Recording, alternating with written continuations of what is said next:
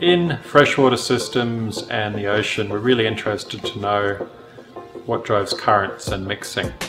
So this is a very simple classic lab demonstration that shows the influence of density gradients. So in a freshwater system that would represent horizontal gradients of temperature. In a marine system it could be horizontal gradients of salinity and temperature. Or in a geological setting it could be horizontal gradients of um, turbidity.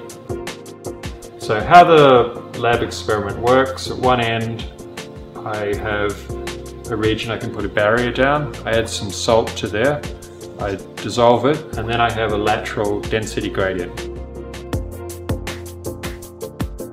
When I pull the barrier out, a gravity current forms at the bottom of the tank which propagates along and it's completely driven by the density differences.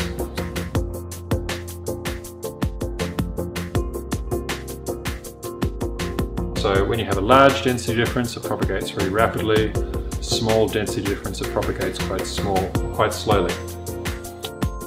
This is what Lake Ontario looks like continuously. The wind pushes the surface layer, that interface between the warm and cold waters is continuously moving up and down. So if you look at the temperature at 20 meters depth offshore from Pickering, at surface waters they vary with the diurnal heat differences, but the bottom water it can be 10 degrees one day, it can be 20 degrees the other day. It's really variable. And what you should be visualizing is that there's these big movements of the thermocline that are going up and down.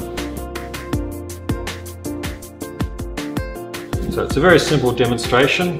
Um, what we end up with is a stratified system where we now have this dense fluid on the bottom, light fluid on the top, different layers of dye indicate that we haven't mixed the tank and um, I do this in just about every single class I have because it's uh, nice and visual and works quite well.